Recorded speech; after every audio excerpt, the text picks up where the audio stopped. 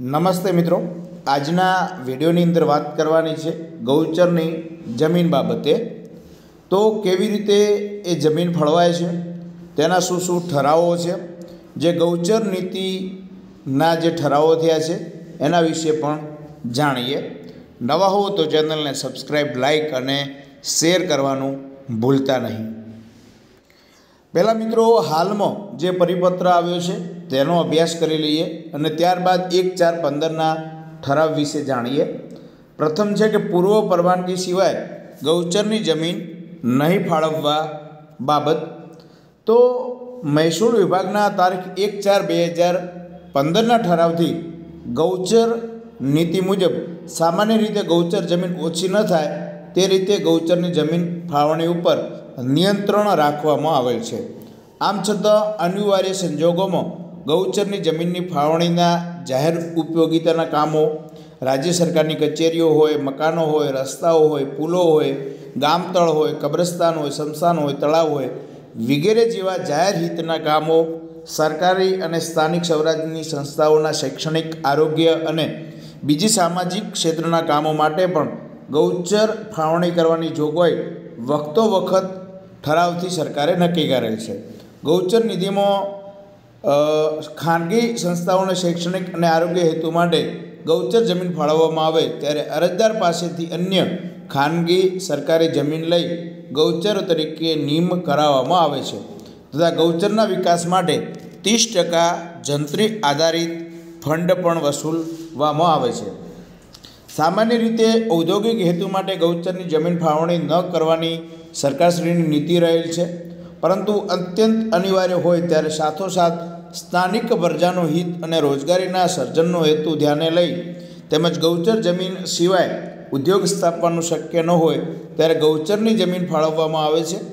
અને તે વખતો વખત ફાળવેલી જમીન જેટલી જ અન્ય ખાનગી જમીન જે તે ઉદ્યોગકાર પાસેથી લઈ ગૌચર તરીકે નિયમ કરવા કરાવવામાં આવે છે. અને ગૌચરના વિકાસ માટે ચાળીસ ટકા જંત્રી આધારિત ફંડ પણ વસૂલવામાં આવે છે. આમ ગૌચરની જમીન અનિવાર્ય સંજોગોમાં જ ફાળવવામાં આવે તે હેતુસર તારીખ એક ચાર બે હજાર પંદરની ગૌચર નીતિનો જે ભાગ બે છે, તેની અંદર મિત્રો, ગૌચર જમીન ફાળવણીના અધિકાર સરકાર, મહેસૂલ વિભાગ હસ્તક છે. આમ છતાં ગૌચરની જમીન સરકારશ્રીની પૂર્વ પરવાનગી વિના ફાળવણી કરતા હોવાનું સરકારશ્રીને ધ્યાને આવેલ છે. આથી મહેસૂલ વિભાગના તારીખ એક ચાર પંદરના ઠરાવના ભાગ બેના ફકરા ચાર તરફ પુનઃ સરકારે એવું ધ્યાન દોરતા જણાવ્યું કે ગૌચરની જમીન ફાળવવાની તમામ દરખાસ્તો મહેસૂલ વિભાગમાં રજૂ થાય. તે સુનિશ્ચિત કરવા અને સરકારની પૂર્વ પરવાનગી સિવાય ગૌચરની જમીન ફાળવણી તબદીલ ન કરવા સૂચનાઓ આપેલ છે. હવે જોઈ લઈએ એક ચાર પંદર. આ એક ચાર પંદરનો ઠરાવ છે. જમીન વ્યવસ્થાપન ગૌચરની જમીન કરવા અંગેની સરકારની નીતિ છે. તેની અંદર મિત્રો લેન્ડ રેવન્યુ કોડની કલમ આડત્રીસ હેઠળ, ગામે ગૌચર જમીનની નિયમ કરવાની સત્તા અને કલમ ઓગણત્રીસ હેઠળ ગૌચર જમીનના ઉપયોગનું નિયમન કરવાની સત્તા કલેક્ટરશ્રીઓને આપવામાં આવેલ છે. બરાબર છે? ત્યારબાદ તમામ પ્રકારની માહિતી અંદર લખેલી છે.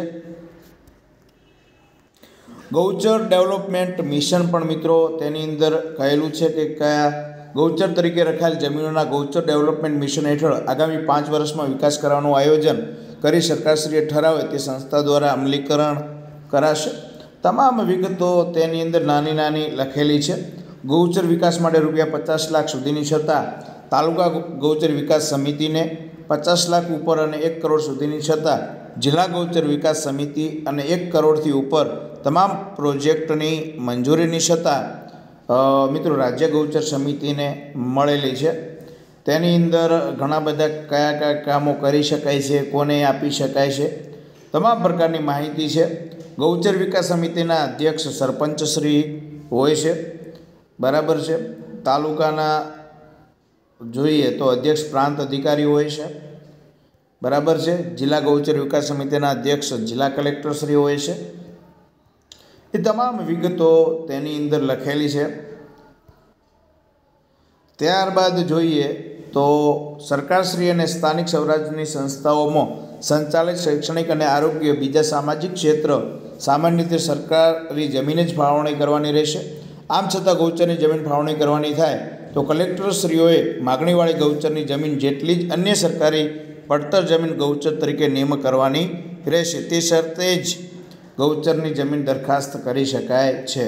ખાનગી સંસ્થાઓ માટે પણ તેની શરતો છે. અહીં તમે જોઈ શકો છો કે ત્રીસ ટકા જંત્રી એમણે ચૂકવવાની હોય છે અને સંબંધિત વિભાગ દ્વારા નિયત કરાયેલ ધારા પ્રમાણે મળવાપાત્ર હોય તેટલી જમીન આપવાની રહેશે. ત્યારબાદ ઔદ્યોગિક માટે પણ તેની અંદર મિત્રો ચાળીસ ટકા જંત્રી ભરવાની હોય છે. એ બધી વિગતો અહીં લખેલી છે. તમારે આ ઠરાવની જરૂર હોય તો મને ખાલી વોટ્સઅપ મેજેસ મેસેજ આપના નામ સરનામા સાથે મોકલી આપશો. આપનું નામ અને સરનામું અને ગૌચરના ઠરાવ એ બાબતે લખીને મોકલી આપશો. એકાણું ચાર ડબલ જીરો ત્રેપન પાંચસો ચોપન. થેન્ક યુ આભાર.